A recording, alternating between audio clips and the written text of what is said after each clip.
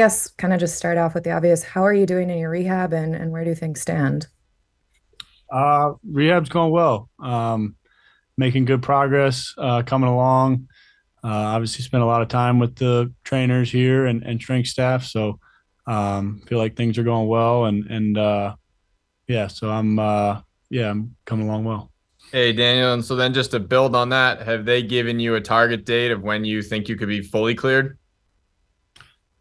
Um, yeah, I mean the the plan is to be ready to go by training camp. So um, yeah, that's what I'm shooting for, and and uh, feel good about being ready.